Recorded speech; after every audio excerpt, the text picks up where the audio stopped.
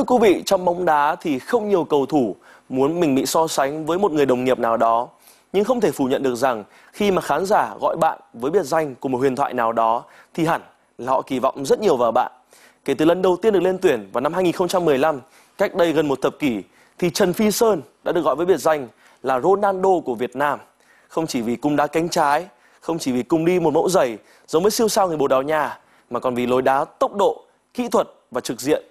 Và một lần nữa, lối đá này thể hiện sự hiệu quả của mình tại vòng 4 của V-League vừa qua. Thực chất thì uh, chấn thương của Sơn cũng chưa hoàn toàn bình phục. Thời điểm đến bây giờ thì Sơn mới tầm 90% để trở lại với đội bóng. Đó là những chia sẻ của tiền vệ Phi Sơn một ngày trước khi trận đấu giữa chủ nhà câu lạc bộ Hải Phòng và Sông Lam Nghệ An diễn ra. Phi Sơn cũng cảm thấy áp lực rất lớn khi phải thi đấu tại nơi được mệnh danh là chảo lửa lệch chay. Tưởng chừng sẽ là một trận đấu tròn vai nơi tuyến giữa, nhưng Phi Sơn đã chơi một trận đấu cực hay. Phi Sơn cùng Đinh Thanh Trung đã xây dựng một tuyến giữa kiên cố và giàu tính sáng tạo.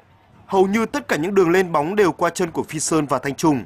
Hai bàn thắng đầu tiên trong hiệp 1 đều mang dấu ấn đậm nét của cặp đôi tiền vệ này.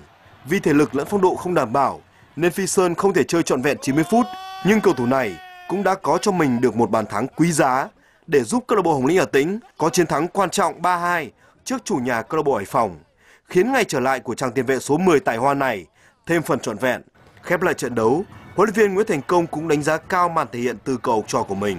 Thời gian cậu ấy trên sân cậu để hoàn thành tốt cái ờ, vai trò nhiệm vụ của mình và tôi ờ, tôi đang còn hy vọng với cái vòng nghỉ sắp tới đây thì cậu ấy sẽ lấy được được cái phong độ 100% của của mình. Với chiến thắng đầu tiên tại mùa giải năm nay trước câu lạc bộ Hải Phòng, Hồng Lĩnh Hà Tĩnh đã vươn lên thứ 7 trên bảng xếp hạng cùng 5 điểm và giải vô địch quốc gia sẽ tạm nghỉ một tháng rưỡi trước khi trở lại ở vòng đấu thứ 5. Chắc chắn lúc đó Hồng Lĩnh Hà Tĩnh sẽ càng lợi hại hơn khi sở hữu một phi sơn tốc độ, kỹ thuật cùng 100% phong độ lẫn thể lực.